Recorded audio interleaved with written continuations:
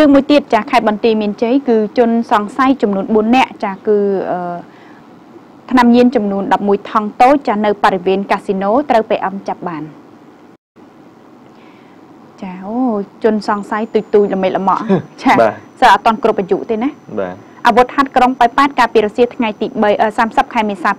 2017ក្រោយពីទទួលបានព័ត៌មានពីប្រជាពលរដ្ឋចាមានយុវជនមួយក្រុមកំពុងតែចែកចាយនិងប្រើប្រាស់គ្រឿងញៀននៅក្នុងបរិវេណកាស៊ីណូចាប់ផ្កាយ5ស្ថិតក្នុងភូមិក្បាលស្ពាន1សង្កាត់ប៉ោយប៉ែតក្រុងប៉ោយប៉ែតខេត្តបន្ទាយមានជ័យក៏បានចេញប្រតិបត្តិការបង្ក្រាបបានជនសង្ស័យ4នាក់និងគ្រឿងញៀនចំនួន11ថង់តូច លោកជាដាមានបញ្ជាការមូលដ្ឋានកងរាជអាវុធហត្ថក្រុងប៉ោយប៉ែតបានឲ្យដឹងថាប្រតិបត្តិការបង្ក្រាបនេះបានជន់សង្ស័យជាបន្តបន្ទាប់បានចំនួន4នាក់ដកហូតបានគ្រឿងញៀនមេតាំហ្វេតាមីនទឹកកកចំនួន11កុនថងទម្ងន់3.02ក្រាម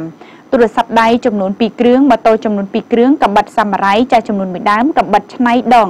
ដៃទីបចំនួន1ដើមជនសង្ស័យទាំង4នាក់រួមមានឈ្មោះទី1ថាពាក់វ៉ាន់ដេត ហៅដេតចាគឺភេទប្រុសអាយុ21ឆ្នាំទេអាយុច្រើនទេតារស់នៅភូមិក្បាលស្ពាន1ទី2ឈ្មោះថាសុកភ័ណ្ឌភេទប្រុសអាយុ17ឆ្នាំរស់នៅភូមិប្រជាធម្មម្លេចទី3ឈ្មោះថាភាពជីវ័នភេទប្រុសអាយុ17ឆ្នាំនៅភូមិចាប៉ាលីឡៃទី4ឈ្មោះថាតាន់វាសនាហៅភ័ក្រភេទប្រុសអាយុ21ឆ្នាំរស់នៅភូមិក្បាលស្ពានទី1អ្នកទាំង4រស់នៅសង្កាត់ប៉ោយប៉ែតនិងសង្កាត់ផ្សារកណ្ដាលក្រុងប៉ោយប៉ែតខេត្តបន្ទាយមានជ័យត្រូវបានកសាងសំណុំរឿងបញ្ជូនទៅកាន់បញ្ជាការដ្ឋានកងរាជអាវុធហត្ថដើម្បីសាកសួរបន្តបាទចានេះរឿងចាប់បានអ្នកញៀនគ្រឿងញៀននិងលក់គ្រឿងញៀនបន្តក្នុងកាស៊ីណូបាទអីកាស៊ីណូចេះបណ្ដោយឲ្យជនជាតិខ្មែរចូលដែរណោះបាទមិនត្រឹមតែចូលទៅលេងចូលទៅលក់ចូលទៅខ្សែគ្រឿងនឹងគ្រឿងញៀនទៅទៀតក្មេងអត់គ្រប់អាយុចូលបានដែរមើលចាបាទគាត់មិនទៅខ្វល់ទេចាសំខាន់គឺធ្វើម៉េចឲ្យកាស៊ីណូរបស់គាត់មានសេវាគ្រប់គ្រាន់បាទចាគ្រប់គ្រាន់នេះវាមិនគ្រប់ពេលលើចាលើសេវាបាទ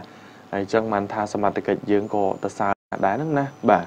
ទៅចាប់បានដល់ក្នុងកាស៊ីណូមិនងាយទៅចាប់បានទេកន្លែងអស់នេះបាទព្រោះគេតឹងរឹងណាបើមិនជឿស្លៀកពាក់ឯកសណ្ឋានចូលមកបញ្ចូលចុះចាគេមិនឲ្យចូលទេបាទសកម្មថាឡើយសមត្ថកិច្ចមកពីណាក៏ដោយសួរសួរនឹងត្រូវបោះសន្តិសុខកាស៊ីណូឥឡូវហើយបាទអត់បានទេបាទប៉ុន្តែយ៉ាងណាក៏សបោដែរឥឡូវនេះយើងមានកម្លាំងប្រកបស្លៀកពាក់ស៊ីវិល